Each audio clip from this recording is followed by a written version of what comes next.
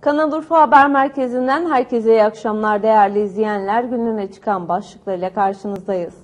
Hazine ve Maliye Bakanı Nurettin Nebati ile Çevre Şehircilik ve İklim Değişikliği Bakanı Murat Kurum yarın Şanlıurfa'ya geliyor. Bakanlar esnafla bir araya gelerek çeşitli ziyaretlerde bulunacak. Hazine ve Maliye Bakanı Nurettin Nebati ile Çevre, Şehircilik ve İklim Değişikliği Bakanı Murat Kurum bir dizi temaslarda bulunmak üzere 18 Ekim Salı günü yani yarın Şanlıurfa'ya geliyor. Cumhurbaşkanımız Recep Tayyip Erdoğan'la daha da güçlü. Bakanlar Nebati ve Kurum'un Şanlıurfa Valiliği ve Şanlıurfa Büyükşehir Belediyesi ziyaretlerinin yanında ilçe belediye başkanlarını ziyaret edecek.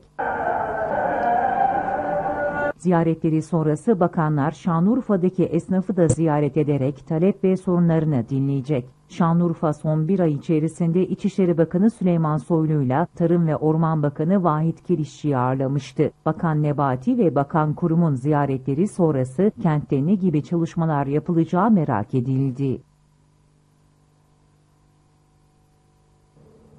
Şanlıurfa'nın Bilecik ilçesinde sünnet olacak çocuk dayısının kullandığı otomobilin altında kalarak hayatını kaybetti.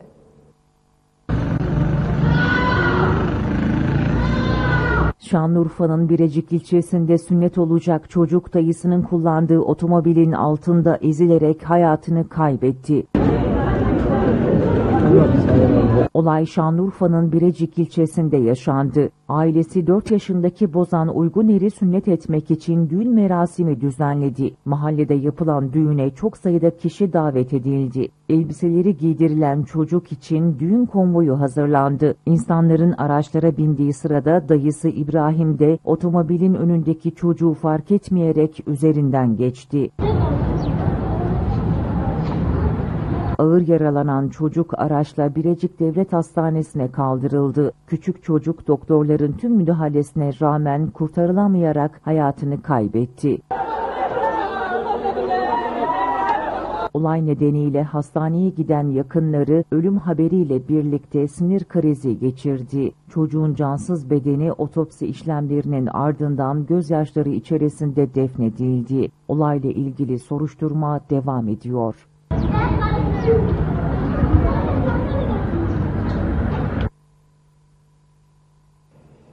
Değerli izleyenler, Şanlıurfalı ev sahiplerinin kiralık ev ilanlarında yabancı ve memur şartı aramasından dolayı kendi memleketinde adeta yabancı konumuna düşen Urfalılar ev bulamadıkları için tepkili. Konuyla ilgili mikrofonlarımıza konuşan Şanlıurfa Tüm Emlakçılar Esnafı Oda Başkanı Selahattin Tokmak, Urfalı'ya ev vermiyoruz cümlesi suçtur dedi. Hem konut sayısının eksikliğinden hem de ev sahiplerinin yabancı ve memur şartı aramasından dolayı Urfalılar kiralık ev bulamaz hale geldi. Kiralık daire arayan Urfalılar emlakçılardaki ilanlarla internet sitelerindeki kiralık ev ilanlarında yabancı ve memur şartıyla karşılaşırken adeta kendi memleketlerinde yabancı konumuna düşüyor.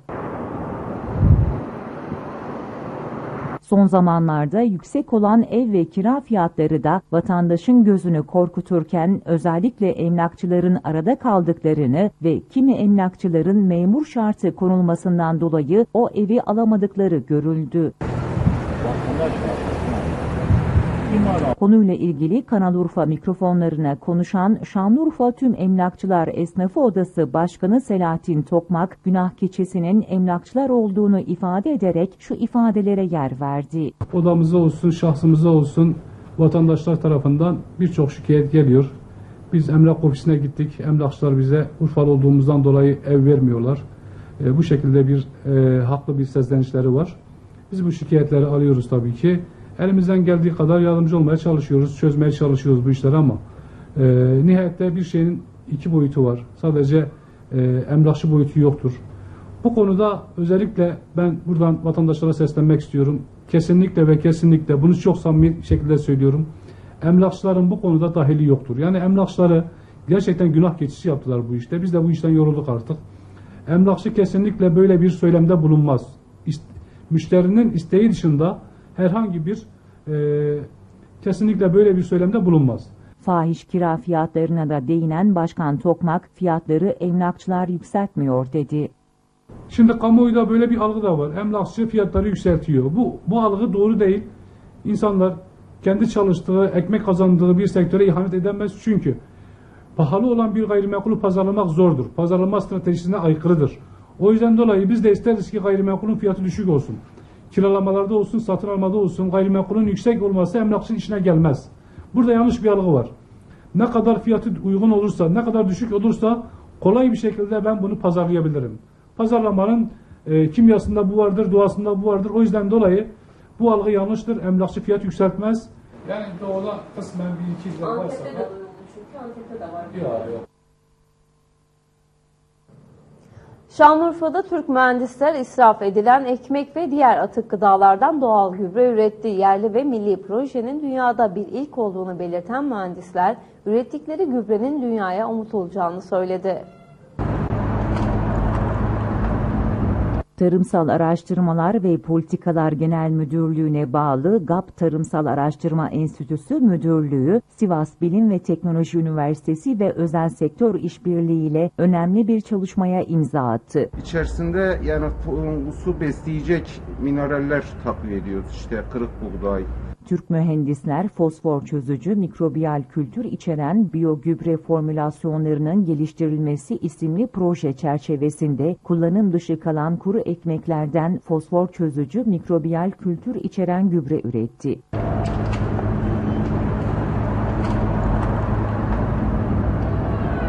Proje çalışmaları doğrultusunda yapılan laboratuvar araştırmalarında bitkiler tarafından alınamayan fosforu %10 ila %150 oranında çözdüğü saptanan faydalı fungus, organik dolgu malzemeleri üzerinde geliştirildikten sonra arazi denemelerinde bitki gelişimine etkisi değerlendirildi. başka yazıyormuş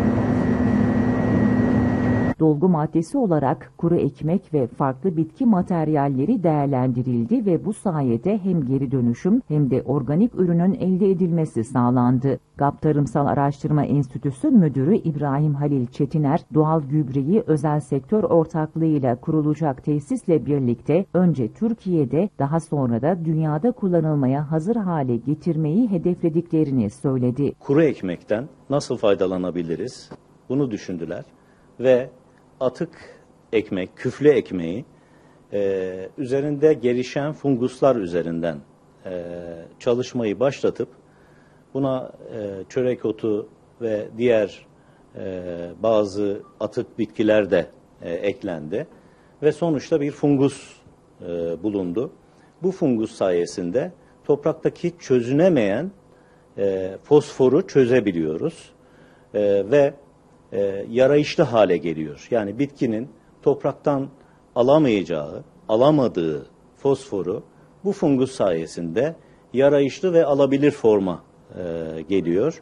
GAPTEM Ziraat Yüksek Mühendisi Şahi Merdan Türkölmez projeyle ilgili açıklamasında şu ifadelere yer verdi. Dolgu maddesi olarak e, kuru ekmekten faydalandık. Özellikle baktık ki ülkemizde kuru ekmek israfımız çok fazla bunu geri dönüştürmek adına ve maliyetleri de düşünerek üret, kitlesel üretimle kuru ekmeği tercih ettik, kırık buğdayı tercih ettik. Bunlar üzerinde geliştirdiğimiz fungusları belli oranlarda toprakta ve bitki üzerinde denemeler yaptığımızda hiç gübre uygulamadan sadece bu fungustan elde ettiğimiz ürünü vererek yaklaşık olarak %10 verim artışına sebep olduk. Boy gelişimi yani hiçbir şey uygulamayandan boy gelişimi açısından da iyi bir sonuç oldu. Sili araç filosunu her geçen gün daha da güçlendiren Şanlıurfa Büyükşehir Belediyesi kırsal alanlarda kullanmak üzere 27 adet damperli kamyonu araç filosuna kattı. Her geçen gün araç sayısını artıran Şanlıurfa Büyükşehir Belediyesi, Kırsal Hizmetler Daire Başkanlığı ve Fen İşleri Daire Başkanlığı himayelerinde çalıştırmak üzere 27 adet damperli kamyonu araç filosuna ekledi. Kış şartlarını göz önünde bulunduran Şanlıurfa Büyükşehir Belediyesi, kar yağışına ve olumsuz hava şartlarına uygun kamyonlara kar küreme aparatıyla tuzlama aparatı ilave etti. Şanlıurfa kent merkezi ve 13 ilçede kendi öz kaynaklarıyla vatandaşlara en güzel hizmeti sunabilmek için var güçleriyle çalıştıklarını anlatan Şanlıurfa Büyükşehir Belediye Başkanı Zeynel Abidin Beyazgül şöyle konuştu. Yeni bir müjde vermek istiyorum. İşte burada 27 tane aracımız. Bu araçlarımızın bir kısmına, kısmına kar küreme sistemine ekledik. Damperler tarafımızdan yapıldı. Bu araçlarımız fen işlerinde ve kırsal dairemizde çalışacaklar. Efendim vaadimiz vardı. Diyorduk ki ilk stabilize malzeme üretmeden bazalt, araç, e, asfalt, araç ve ekipman olarak tamamen belediyemiz kontrolünde çalışmalar yürüyecek. Bu işleri tamamen belediyemiz yapacak diyorduk. İşte biz de adımlarımızı çok büyük attık. Şimdi 27 aracımızı Şanlıurfa'mızın hizmetine getirdik. Önünde kar küreme sistemlerini aldık taktık. Yarın öbür gün kar yağarsa yine sahada bu aslanlarımız hazır olacak. Ee, hayatımızın normal akışını devam ettireceğiz.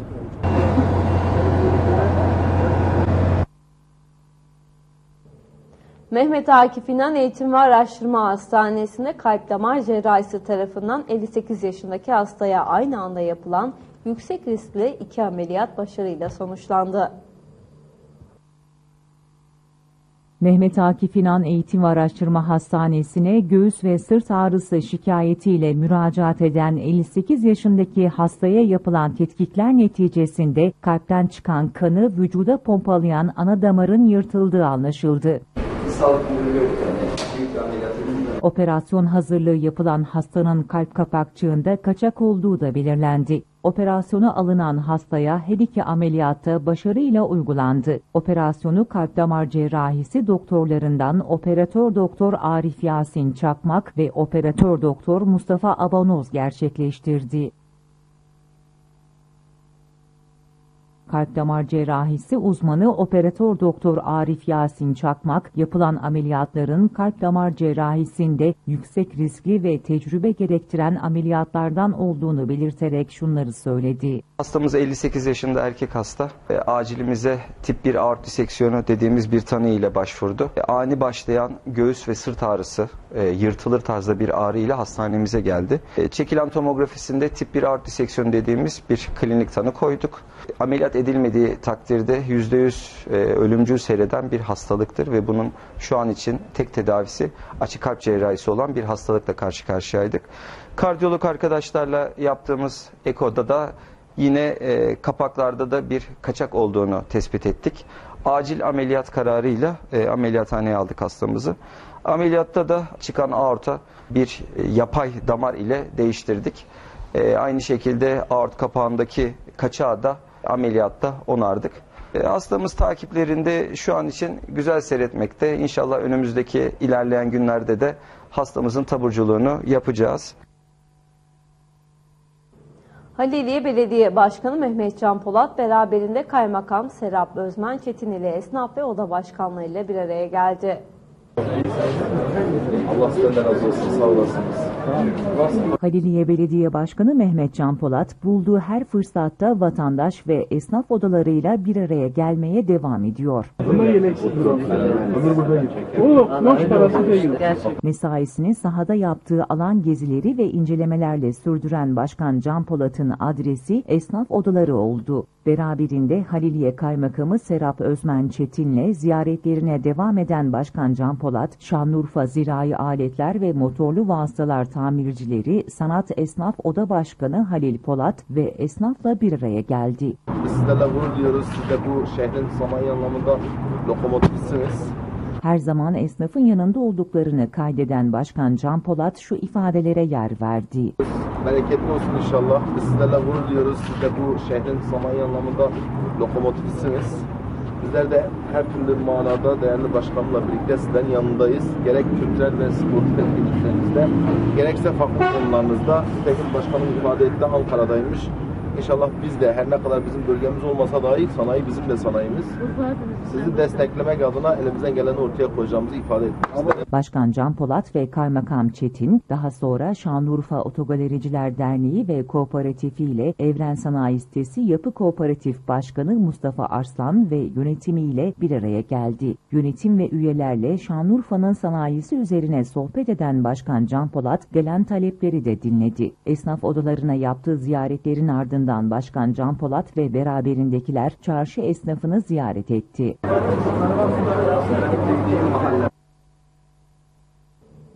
Şanlıurfa'nın Siverek ilçesinde meslek lisesinde şire şenliği düzenlendi.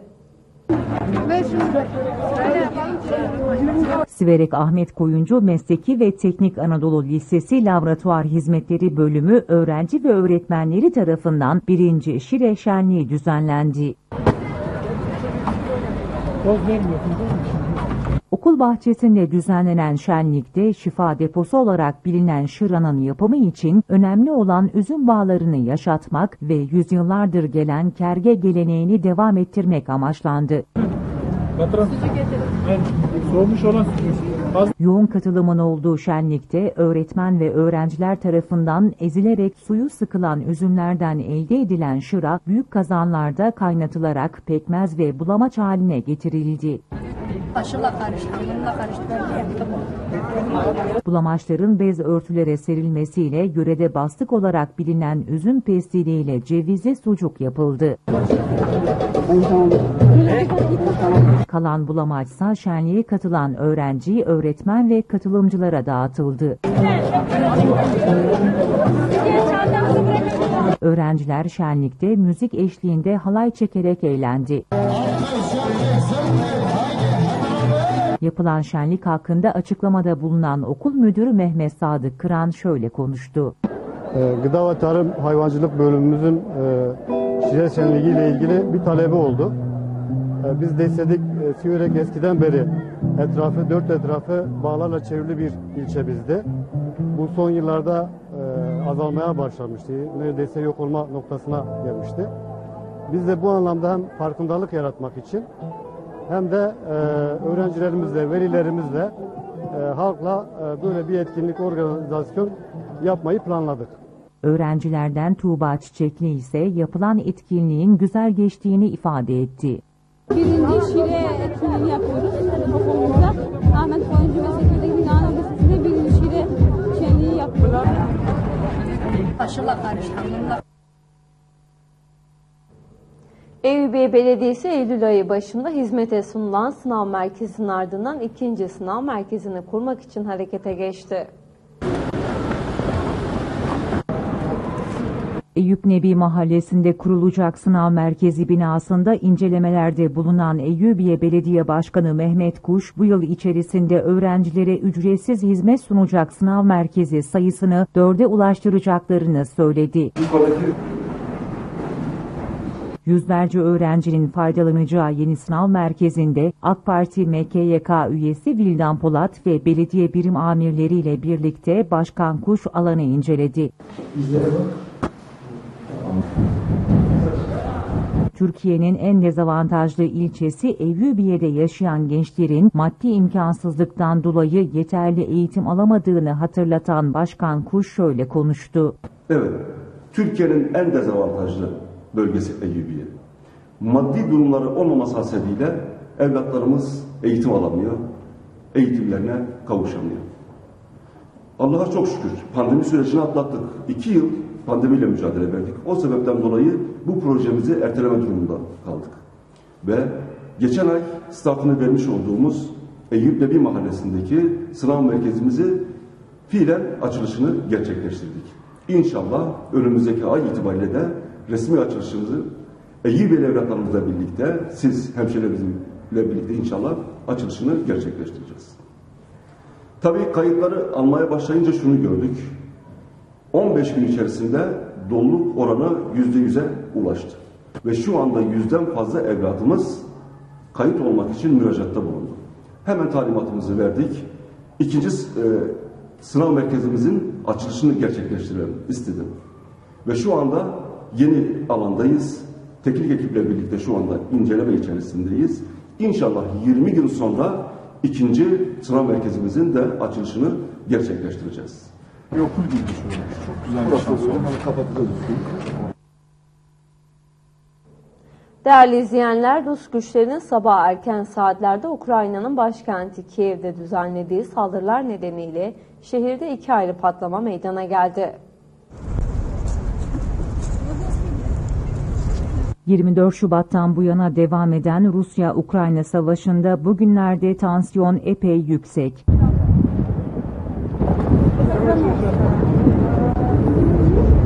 Ukrayna ordusu Rusya için büyük öneme sahip Kırım Köprüsü'nü patlattı. Rusya ise intikam için Ukrayna'nın başkenti Kiev'i bombardıman altına aldı.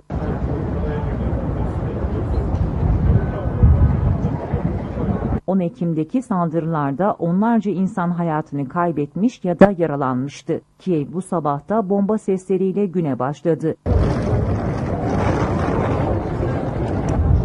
Kiev Belediye Başkanı sosyal medya hesabından yaptığı açıklamada başkentin Şevçenski bölgesinde iki ayrı patlama yaşandığını belirtip çok sayıda binada hasar var. Ekipler olay yerinde dedi. Kiev Bölgesel Askeri İdaresi Başkanı Kuleba ise Kiev sakinlerinden hava alarmlarını dikkate almaları çağrısı yaptı saldırıların neyle gerçekleştirildiğine veya can kaybı olup olmadığına ilişkin henüz açıklama yapılmadı. Kiev Belediyesi halka sığınaklarda kalın çağrısında bulundu.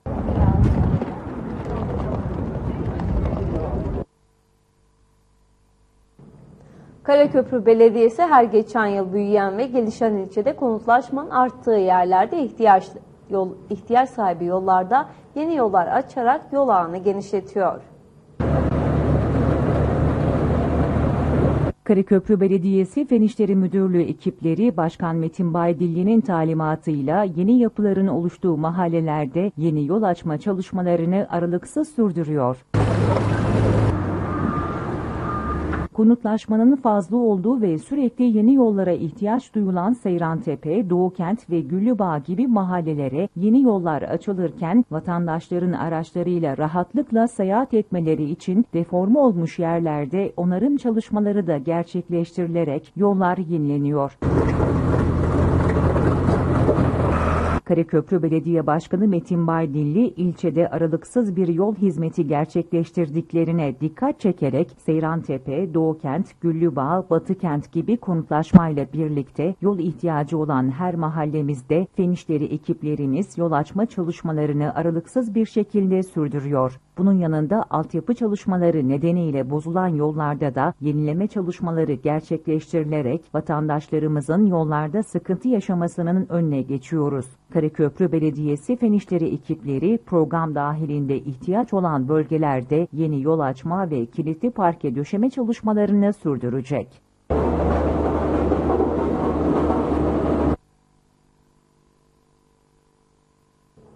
Adıyaman'dan bir haberle devam ediyoruz. Besni ilçesinde yıldırım düşmesi sonucu meydana gelen olayda 78 küçükbaş hayvan telef oldu. O da dedi sabit sonra fazla hareket ettirmeden dedi. Adıyaman'ın Besne ilçesine bağlı Uzunkuyu köyünde aniden bastıran yağmur yağışıyla birlikte yıldırımlar düşmeye başladı. Bu esnada ikametin bahçesinde bulunan Selim Arslan'a ait yüze yakın küçükbaş hayvanın üstüne yıldırım düştü. Yıldırımın düşmesi sonucu bahçede bulunan hayvanlardan 78'i telef oldu. 3 küçükbaş hayvansa yaralandı. Geçimini hayvancılıkla sağlayan Selim Arslan, küçükbaş hayvanlarını hareketsiz bir şekilde yerde görünce adeta şoka girdi. Oldukça mağdur olduğunu ve hayvanlarını kaybetmenin üzüntüsünü yaşayan Arslan, yetkililerden yardım istedi. Yani bundan başka bir geçim kaynağınız falan var mıydı? Geçim kaynağım yok. Yaşım 1966 doğumluyum. 12 yaşında ben bu iş uğraşıyorum. Yani geçiminiz sadece davarcılık. Yani 78 tane hayvanınız şimşek çarpması sonucu telef oldu. Hani devlet büyüklerimizden de istediğiniz bir yardım Bir- talebiniz var mı? Bir yardım. Bir, bir, bir devlet adamlarından, büyük adamlardan bir yardım istiyorum. Umarım bu sesimizi, videomuzu duyarlar ve bu olaya beğen atarlar. Bir evde torun da var ha. Evet engelli torunumuz da var. Bunu da gözden kaçırmayalım. Akçakale Belediye Başkanı Mehmet Yalçınkaya engelli vatandaşlarla toplantıda bir araya gelerek talep ve önerileri dinledi. Akçakale Belediye Başkanı Mehmet Yalçınkaya gönül buluşmaları kapsamında engelli bireylerle görüştü. Ne yapılması gerekiyorsa kadar yanındayız. Belediye konferans salonundaki buluşmaya Umuda Engel Yok Derneği Başkanı Mustafa Akti ile üyeler katıldı. Toplantıya ev sahipliği yapan Başkan Yalçınkaya, ilçede yürütülen projeler hakkında bilgi verdi ve ilçenin değişimine dikkat çekti. Çözüm noktasında işin zor tarafı %90'ı bitirdik. Şimdi Balkıgöl başladı. Ardından engelli vatandaşların talep ve önerilerini dinleyerek tek tek not aldı. Hazreti Sara annemiz Hazreti İbrahim'le evlendiği Rahşakale. Neresi aynı aruz. Toplantının önemine değinen Başkan Yalçınkaya, birlikte gayret edecek, eksikliklerimizi düzelteceğiz. İşimiz düzeltmek, işimiz sizleri dinlemek diyerek toplantıya katılanlara teşekkür etti. konuşmamızda fayda var. Geldik burada işte notlar aldık. Ondan sonra bir kısmından haberdar olduk. Bir kısmından eksiğimizi gördük. Bir kısmından yapılması gerekenleri gördük. yani toplantının bize çok faydası oldu. Ben her zaman söylüyorum bir arada olmanın. Ahmet bunu isterse bir ayda yapsın, isterse yerlerimizin. Kesinlikle toplanma imkanımız var. Hem sohbet ederiz, hem birbirimizle konuşuruz, hem sorunları çözmede el birliği ederiz. Bir mesafe alırız. Ben sizlere teşekkür ediyorum. Toplantı hatıra fotoğrafı çekilmesiyle son buldu.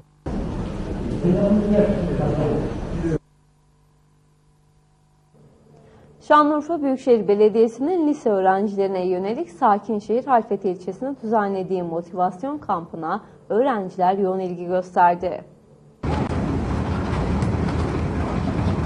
Şanlıurfa Büyükşehir Belediyesi Kadın ve Aile Hizmetleri Daire Başkanlığı 11 Nisan Kadın Kültür ve Eğitim Merkezi'ndeki kurslara katılan öğrencilere yönelik motivasyon kampı düzenledi.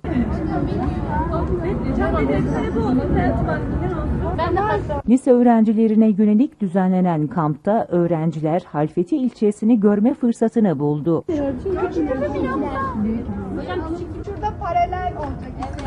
Büyükşehir Belediyesi'ne ait otobüslerle ilçeye götürülen öğrenciler burada ilçenin tarihi ve doğal güzelliklerini yakından görme fırsatını yakaladı. Kampa katılan öğrencilere el sanatları konusunda eğitimler verildi. İki günlük kampa katılarak tarihi Halfeti ilçesini yakından görme fırsatı bulduklarını anlatan lise öğrencileri, gezinin düzenlenmesine destek veren Şanlıurfa Büyükşehir Belediye Başkanı Zeynel Abidin Beyazgül'e teşekkür etti. Ee, Burada Halfeti'de lise öğrencilerimizle e, iki gün boyunca motivasyon kampı düzenledik. Bizlere bu imkanı sağlayan Büyükşehir Belediye Başkanımız Zeynel Abidin Beyazgül'e çok teşekkür ediyoruz. Ee, kampın iki günlük kamp yapmak için geldik buraya. Çok güzel etkinliklerimiz oldu. Büyükşehir Belediye Başkanımız e, Zeynel Abidin Beyazgül'e teşekkürlerimizi sunuyoruz. Buraya kamp yapmaya geldik. Çeşitli etkinliklerde bulunduk. Sokak oyunları oynadık. Gemi turları yaptık. Ee, bize bu etkinlikleri sunan Büyükşehir Belediye Başkanımız Zeynel Abidin Beyazgül'e teşekkürlerimizi sunuyoruz. İyi ki varsınız.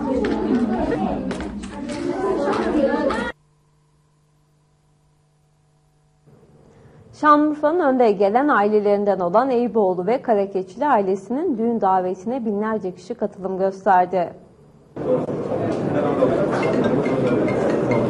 Bermal Karageçeli ve Sinan Eyüpoğlu çifti binlerce kişinin katılımıyla dünya evine girdi. Genç çiftin nikah merasimine AK Parti Şanlıurfa Milletvekili Mehmet Ali Cevheri, Şanlıurfa Büyükşehir Belediyesi Meclis Başkanı Ahmet Kaytan, Haliliye Belediye Başkanı Mehmet Can Polat, Kanalurfa Yönetim Kurulu Başkanı Abdurrahim Toru, siyasi parti başkanları, STK başkanları, iş insanları ve binlerce kişi katıldı. Sinan ve Bermal çiftin nikah şahitliğini birçok siyasi, STK, oda başkanları, iş insanı yaparken genç çiftin kirveliğini ise Eyyubiye Belediyesi eski başkanı Mehmet İkinci yaptı. Tüm misafirlere hoş geldiniz diyor. Şeref verdiniz diyor. Genç çiftin nikahını ise Haliliye Belediye Başkanı Mehmet Can Polat kıydı. Şahitlik ediyorum. Allah hayırlı uğurlu etsin. Nikah merasiminde konuşan Haliliye Belediye Başkanı Mehmet Can Polat her iki çifte bir ömür boyu mutluluklar diledi. Sayın Sinan Eyüpoğlu ile evlenmeyi kabul ediyor musun? Her iki ailenin de kirveliğini yapan Eyyubiye Belediyesi eski başkanı Mehmet İkinci ise şu ifadelere yer verdi. Karageçili ve Eyüpoğlu ailelerinin kıymetli evlatları Bermal ve Sinan'ın düğünü için bir araya geldik. Ve tabi bu düğünde de bizlere kirvelik nasip oldu. Öncelikle her iki aileye hayırlı uğurlu olsun diyorum. Genç çiftimize bir ömür mutluluklar diliyorum. Damadın babası Ömer Eyüpoğlu ise düğüne katılım sağlayanlara teşekkür ederek şöyle konuştu. Mutlu günümüzde bizi yalnız bırakmayan e, dost, arkadaşlarımız, akrabalarımız özellikle bizim e, Eyüpiye Korucu Belediye Başkanı Küremiz Mehmet Ekinci'ye çok teşekkür ediyorum. Herkese saygı, sevgilerimi sunuyorum. Allah'a emanet olsunlar. Sağ olsun. Avukat Osman Eyüpoğlu, Abdurrahman Eyüpoğlu ve Sabri Karageçeli ise katılan herkese teşekkür etti. Bugün kardeşim Sinan'ın mutlu günü, düğün merasimini gerçekleştirdik. E, kirveliğimizi üstlenen kurucu Eyüpiye Belediye Başkanımız Sayın Mehmet Ekinci'ye, Büyükşehir Belediye Başkan Vekili Sayın Ahmet Kaytan'a, ilçe belediye başkanlarımıza, sivil toplum kuruluşu başkanlarına ve bizleri burada yalnız bırakmayan bütün dostlarımıza, akrabalarımıza şükranlarımızı sunuyoruz. Teşrif edip gelen bütün dostlara çok teşekkür ederim. Bizi yalnız bırakmadıkları için tekrar tekrar teşekkür ederim. Allah razı olsun diyorum. Bu özel günümüzde bizi yalnız bırakmayan akrabalarıma, dostlarıma, misafirlere ayrı ayrı teşekkür ediyorum. Eyüboğlu ve Karagiçi ailesinin gençlerine ömür boyu mutluluklar diliyorum. Ayrıca Urfa kanalına ayrıca teşekkür ediyorum. Saygılarımı sunuyorum efendim. Düğün grup dergahın okuduğu mevlitle son buldu.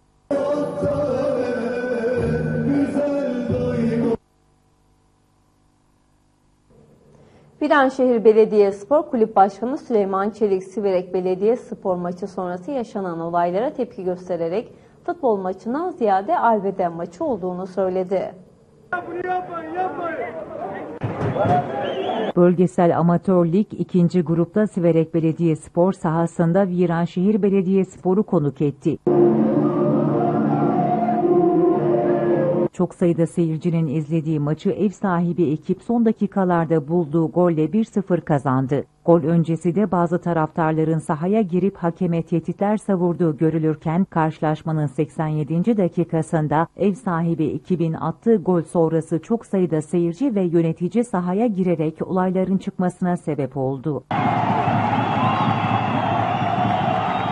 Siverek Belediyespor'la Viranşehir Belediyespor arasında Firkan Tülsüz tadında oynanan karşılaşmada zaman zaman gergin anlar yaşandı. Maç esnasında ev sahibi takım taraftarları sahaya girerek orta hakeme tehditler savurdu.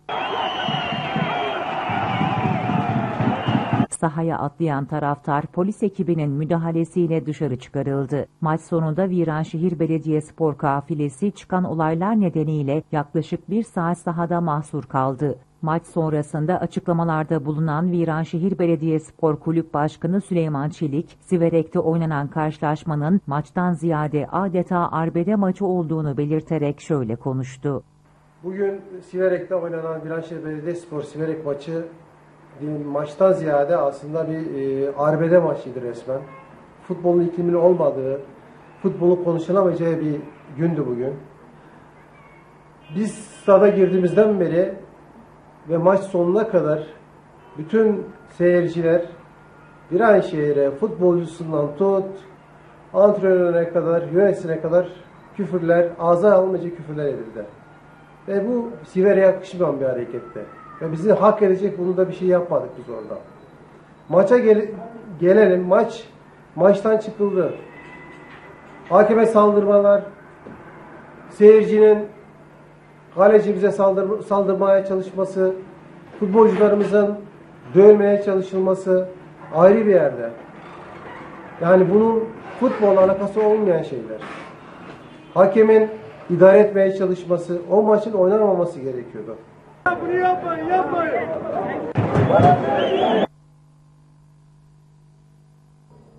Değerli izleyenler ana haber bültenimizi burada noktalıyoruz. Tekrardan karşınızda olmak dileğiyle hoşçakalın.